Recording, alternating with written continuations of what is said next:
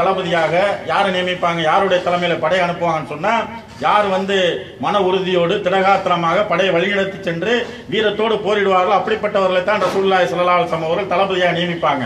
அப்ப அவுபக்கர் சித்திக் அவர்கள் சாந்தமிக்கவர்களாக இருக்கிறார் என்று நாம ஏற்கனவே பார்த்திருக்கோமா இல்லையா?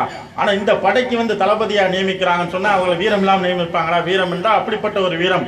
பஸ்ரா குலத்தார் மீதான பஸ்ரா குலம் என்று சொல்லக்கூடிய அந்த குலத்தார் மீதான போருக்கு யாரை தளபதியா நியமிக்கிறாங்கன்னு சொன்னா அவுபக்கர் சித்திக் அவர்களை ரசூலுல்லாஹி ஸல்லல்லாஹு அலைஹி தளபதியை நியமிக்கிறாங்க. அந்த அந்த படையை வந்து அவுபக்கர் சித்திக் ரலியல்லாஹு அவர்கள் என்ன செய்யறாங்கன்னு சொன்னா வழிநடத்தி கொண்டு போறாங்க. அங்க போயிட்டு தங்குறாங்க. தங்கிட்டு வந்து எப்படிப்பட்ட தாக்குதல் தொடுக்கிறாங்கன்னு சொன்னா பல திசைகள் இருந்து பல திசையில இருந்து அபூபக்கர் சித்திக் அவருடைய வியூகத்தை பாருங்க. தாக்குதல் தொடுக்கிறாங்க. தாக்குதல் தொடுக்கும்போது எப்படி தொடுக்கிறாங்க பல திசை- திசைகளில் இருந்து கடுவேகமான தாக்குதலை தொடுக்கிறாங்க. அது மாத்திரமல்ல அபுபக்கர் சித்திக் அலிலான் அவர்கள் அந்த போர்க்களத்தில் எப்படி களமாடுகிறார்கள் சொன்னால் அவர்கள் சிலரை சிறைபிடிக்கிறார்கள் பலரை வெட்டி வீழ்த்தினார்கள் என்ற செய்தி நாம் பார்க்கிறோம். இப்படி வந்து அவர்களுக்கான ஒரு தனி வீரம் இருப்பதை இந்த செய்தி நாம் என்ன செய்கிறோம் பார்க்கிறோம். இப்படி வந்து ப- வீரத்திற்கும் விளைநிலமாக அபுபக்கர் சித்திக் அலிலான் அவர்கள் திகழ்ந்தார்கள் என்ற செய்தி நிறைய இருக்குது.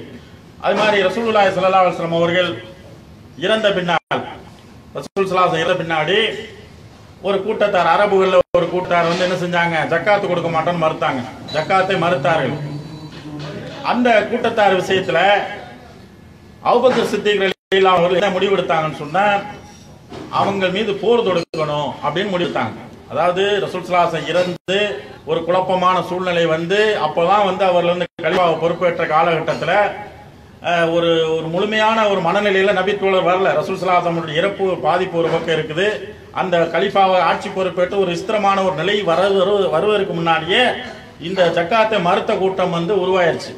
அப்போ உடனே அபுபக்கர் சித்திக் ரலிலான் அவர்கள் என்ன முடிவெடுக்கிறாங்கன்னா இந்த மக்கள் வந்து இவர்கள் மீது போர் தொடுக்கணும் அப்படின்னு முடிவெடுக்கிறாங்க முடிவெடுத்த உடனே உமர் இல்லாமல் சொல்றாங்க ரசூலுல்லாய் சல்லா அலுவலம் நம்மிடத்தில் சொல்லவில்லையா?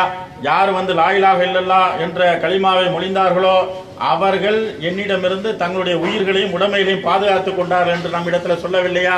அப்படி இருக்க இந்த மக்கள் மீது நீங்கள் எப்படி வந்து போர் தொடுப்பீர்கள் என்று கேட்டவுடனே அதோட என்ன சொல்றாங்க? உமர்லான் சொல்றாங்க இந்த களிமா சொன்ன மக்களுடைய உயிருக்கும் உடமையிலுக்கும் என்னிடத்தில் பாதுகாப்பு பெற்றுக் கொண்டார்கள். இது போக வந்து அவர் குற்றம் புரிந்தால் அதாவது மனிதர் என்ற அடிப்படையில் தண்டனைக்குரிய குற்றம் புரிந்தால் அதற்கான அதற்கான விஷயத்தை தவிர மற்ற விஷயங்களை என்னிடத்தில் பாதுகாப்பு பெற்று விட்டார்கள். அதே போன்று அவருடைய இந்த குற்ற விஷயத்தில் அல்லாவிடத்தில் விசாரணை இருக்கு என்று ரசூல் சொல்லியிருக்கும் போது நீங்கள் அந்த மக்கள் மேல எப்படி போர் தொடுப்பீங்க? ஏன்னா அவர் களிமா சொன்னவர்களா இருக்காங்களே அவர் விஷயத்தில் அல்லாவுடைய தூதர்கள் இப்படி சொல்லி இருக்கிறாங்களே இவர் ஜக்காத்தை மறுத்தார் என்ற ஒரு டாபிக்கை வச்சு நீங்க எப்படி அந்த மக்கள் மேல போர் கொடுப்பீங்க அப்படின்னு உங்களில் அவன் கேட்டாங்க. அப்ப கேட்ட உடனே அவுபக்கர் சித்திகளில் அவன் அவர் எவ்வளவு ஒரு ஆணித்தரமா பாருங்க. வல்லாஹி எல்லாருமே சத்தியமாக தொழுகையும் ஜக்காத்தையும் யார் பிரிச்சு பார்க்குறாங்களோ அவர் விஷயத்தில் நான் வந்து கண்டிப்பாக என்ன செய்வேன்? போர் தொடுப்பேன். ஏன்னு சொன்னா தொழுகை என்பது இறைவனை செய்ய வேண்டிய கடமை. ஜக்காத் என்பது பொருளுக்குரிய கடமை. இறைவன் வந்து இந்த ஜக்காத்தை எதற்கு கடமையாக தந்தோ பொருளுக்குரிய கடமையாக எல்லாம் கடமையாக்கி இருக்கிறான் அப்ப தொழுகையும் ஜக்காத்தையும் யார் வேறுபடுத்தி பிரித்து பார்க்கிறார்களோ அவர் மீது வந்து நான் வந்து போர் தொடுப்பேன். ஏன்னு சொன்னா திருமறை குரானில் நீங்கள் பல இடத்துல நீங்க பார்க்கலாம். எண்ணற்ற இடங்களில் நீங்கள் பார்க்கலாம். தொழுகையோடு சேர்த்து எதை சொல்லுவான்ல? அக்கிமுசலா ஆத்து சக்கா. ரெண்டை சேர்த்து தான் பல இடங்கள்ல வரும். அப்ப தொழுகையும் வந்து ஜக்காத் வேறுபடுத்தி பார்க்க முடியாது. ரெண்டு வந்து அடிப்படையான கடமைகள் இஸ்லாமிய மார்க்கத்துல. அப்படி இருக்கும்போது வந்து இந்த ஜக்காத்தை யார் மறுக்கிறார்களோ அவர்கள் விஷயத்துல நான் நிச்சயமா போர் தொடுப்பேன் அப்படின்னு சொல்றாங்க. சொல்லிட்டு என்ன சொல்றாங்கன்னா இன்னும் உறுதியா சொல்றாங்க. ரசூலுல்லாய் சல்லா அலிஸ்லாம் இடத்துல ஒரு ஒட்டக குட்டியை ஜக்காத்தாக வழங்கி வந்து அதை என்னிடத்துல தர மறுத்தாலும் என்று ஒரு சில அறிவிப்புகளிலும் இன்னும் வேறு சில அறிவிப்புகளில் ஒட்டகத்தை கட்டி வைக்கக்கூடிய கயிறை ஜக்காத்தாக கொடுத்து வந்து என்னிடத்தில் அதை தர மறுத்தாலும் அதற்காக நான் அவர்களிடத்தில் போரிடுவேன் என்று ரொம்ப உறுதியாக அவுபக்கர் சித்திகளில் அவன் சொல்றாங்கன்னு சொன்னா அப்ப இந்த இடத்துல வந்து எவ்வளவு பெரிய வீரம் இருந்தா அப்படி சொல்ல முடியும்? எவ்வளவு பெரிய உள்ள உறுதி ஈமானிய உறுதி அந்த வீரம் இருந்தால் தான் அப்படிலாம் சொல்ல முடியும். இன்னும் சொல்ல போனா வேறு சில அறிவிப்புகளை பார்க்க முடியும். நான் வந்து தனித்தவர்களோடு போரிடுவேன் என்று சொல்றாங்க. நீங்க யார் வராட்டாலும் பரவாயில்ல. நான் தனித்தவர்களோடு போரிடுவேன். அந்த அளவுக்கு தைரியமா சொல்ல முடியும் சொன்னா அந்த அளவுக்கு வீரமிக்கவர்களாக அவர் திகழ்ந்தார்கள். அது மாத்திரமல்ல அடுத்து உமர் அலிலான் சொல்றாங்க. என்ன சொல்றாங்கன்னா அல்லாஹுமே சத்தியமாக அபூபக்கர் அலிலானுடைய அந்த இதயத்தை அல்லாஹ் எப்படி விரிவுபடுத்திட்டான்னு சொன்னா அல்லாஹ் வந்து விசாலமாக்கிட்டான். அந்த இந்த மாதிரியான விளக்கங்களை அவர் அறிந்து கொள்ளக்கூடிய வகையில அல்லாஹ் விசாலமாக்கி வைத்திருந்தனால் தான் அவர்கள் வந்து இது போன்று சொல்ல முடிந்தது.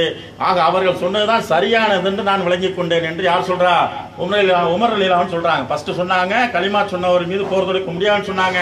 ஆனா அபுபக்கர் சித்திக் அவர்கள் எப்படி விளக்கம் கொடுத்தார்கள் என்று சொன்னால் ஜக்காத்தையும் தொழுகையும் யார் பிரித்து பார்க்கிறார்களோ அவர்கள் மீது போர் கொடுக்க வேண்டும் என்று சொன்ன பின்னாடி இவ்வளவு விளக்கங்கள் சொன்ன பின்னாடி உமரலீலாவன் என்ன சொல்றாங்கன்னா அவர்கள் அபுபக்கர் அவருடைய இந்த முடிவு தான் சரியானது என்று நான் விளங்கிக் கொண்டேன் என்று சொல்றாங்கன்னு சொன்ன அப்ப இதுல எவ்வளவு பெரிய வீரம் இருக்கணும் எவ்வளவு பெரிய உறுதி இருக்கணும் என்பதை நாம் என்ன செய்யறோம் விளங்கிக்கிறோம் இந்த ஹதீஸ் வந்து புகாரில ஆயிரத்தி முன்னூத்தி தொண்ணூத்தி ஒன்பதாவது இலக்கத்தில் நாம் பார்க்கிறோம்.